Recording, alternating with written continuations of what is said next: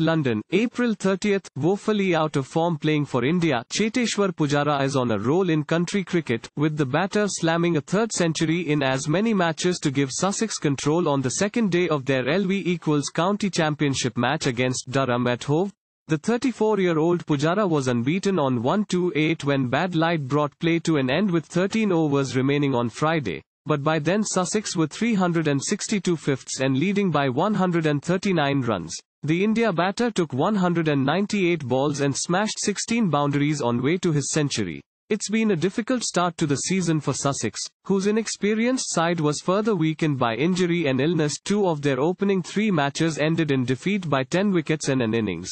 But Pujara, who missed his new club's opening fixture of the season at home to Nottinghamshire, scored a fine 100 on his delayed Hove debut. Pujara shone brightly in distinctly chilly conditions despite the cloud cover providing some lateral movement to Durham bowlers. Pujara had earlier scored an unbeaten 201 against Derbyshire and 109 against Worcestershire but this was his best innings for the county as he dominated a partnership of 143 with Tom Clark. The pair had put on 1-1 against Worcestershire. Clark was out immediately after reaching his half-century, caught by the diving Matty Potts at deep backward square leg. Earlier, Sussex had started the second day on 82 for 1, still 141 in arrears. Durham were handicapped from the start by the absence of their leading fast bowler Chris Rushworth, who failed overnight concussion protocols and was replaced in the side by Oliver Gibson.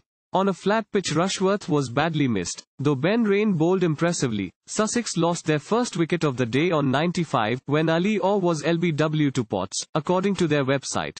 Night watchman Mason Crane survived 60 deliveries before he was bowled by a fine delivery from Matt Salisbury. That made it 108 thirds, with the match very much in the balance. But that brought Pujara to the crease. He was well supported by Tom Alsop, scoring a 129 ball 66 before he was LBW to Liam Trevaskis. Alsop and Pujara added 99 for the fourth wicket. But it was when Pujara was joined by Clark that the Indian Test batsman's innings really took off. Pujara attacked the Durham spinners with relish, pulling with power and striking five fours in two overs.